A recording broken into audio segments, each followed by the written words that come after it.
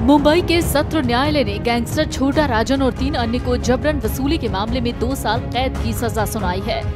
छोटा राजन के ऊपर साल 2015 में पनवेल के बिल्डर नंदू वाजेकर को धमकाकर 26 करोड़ की जबरन उगाही करने का आरोप है।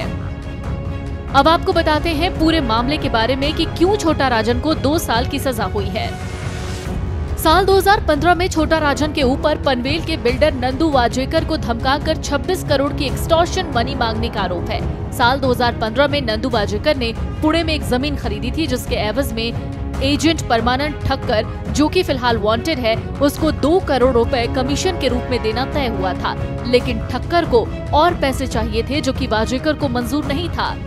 जिसके बाद ठक्कर ने छोटा राजन से संपर्क साधा और बिल्डर को धमकाकर दो करोड़ से ज़्यादा की रकम वसूलने की कोशिश की। फ़िलहाल ठक्कर फरार है।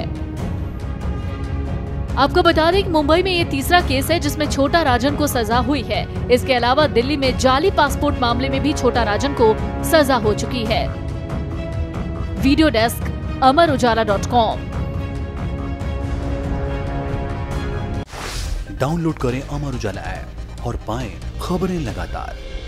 अगर आप ये वीडियो YouTube पर देख रहे हैं तो हमारे चैनल को सब्सक्राइब करें और बेल आइकन को दबाना ना भूलें। अगर आप Facebook पर यह वीडियो देख रहे हैं तो हमारे पेज को लाइक करें।